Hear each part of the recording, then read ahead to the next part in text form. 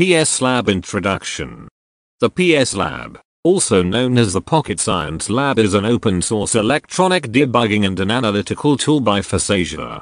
It comprises of almost all the measurement and analytical instruments we can find in a school science lab and maybe even in a common electronic laboratory in a university.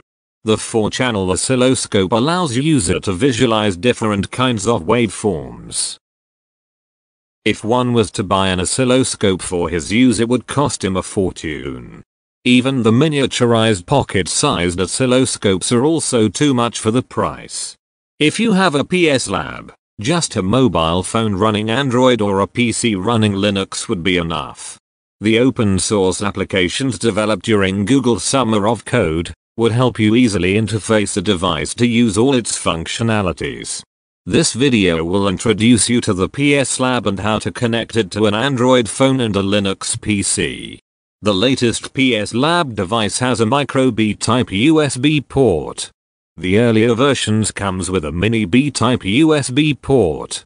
The PS Lab package will include two cables. One is a USB micro B cable and the other one is an OTG cable.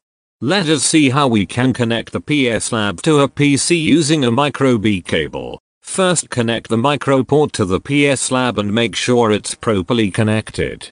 Then connect the USB side to one of the USB ports in PC. As you plug the cable in, you will see two lights on the device has turned on. This confirms that the device has made a connection with the PC and it's ready to function. The next step is to run the PS Lab desktop application. Open the Linux terminal. Type experiments and press enter. It will open the PS Lab desktop application. If the device is properly connected the application background will be bluish. Otherwise it will be reddish. You can see the status of the device on the title bar as well. Let us move on to the Android application. To connect the PS Lab to an Android device we need an OTG cable. First, Plug the micro port of the micro USB cable to the PS Lab and connect the USB socket of the OTG cable to the USB socket on micro USB cable. Now connect the micro port of the OTG cable to the micro port in your Android device.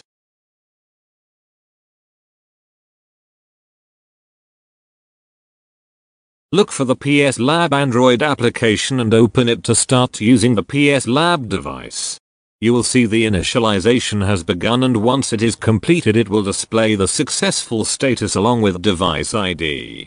PS Lab is now connected and ready for function.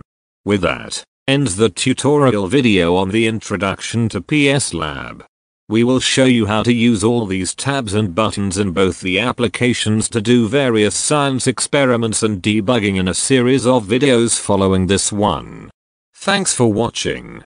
See you until next time.